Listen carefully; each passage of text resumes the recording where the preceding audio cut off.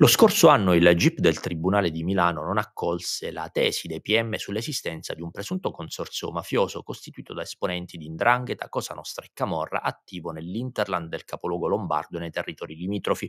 Per gli inquirenti c'erano anche i gelesi nella struttura criminale. La procura meneghina chiede al riesame di rivedere i provvedimenti. Ci fu l'autorizzazione infatti solo all'esecuzione di 11 misure di custodia cautelare in carcere, comprese quelle per i gelesi Dario Nicastro, Francesco Nicastro e Rosario Bonvissuto.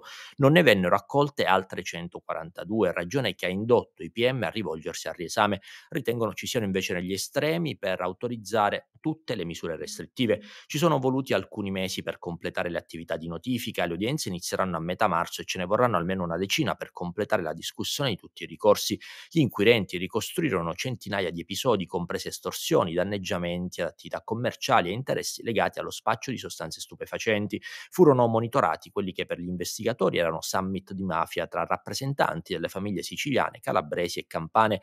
Da Irago e a Sago erano i punti di riferimento per gli incontri, questo hanno appurato gli investigatori. Secondo il GIP però gli elementi di prova risulterebbero del tutto carenti. Il PM Alessandra Cerreti ha formalizzato i ricorsi in base all'indagine Idra, anche presunti referenti del boss Matteo Messina Denaro avrebbero gravitato in quel contesto criminale. I gelesi coinvolti non avrebbero risparmiato azioni violente pur di imporsi e garantire attività attività a loro vicine. Da marzo quindi i giudici del riesame dovranno valutare i ricorsi e le posizioni dei coinvolti nei cui confronti però non è stata autorizzata alcuna misura restrittiva.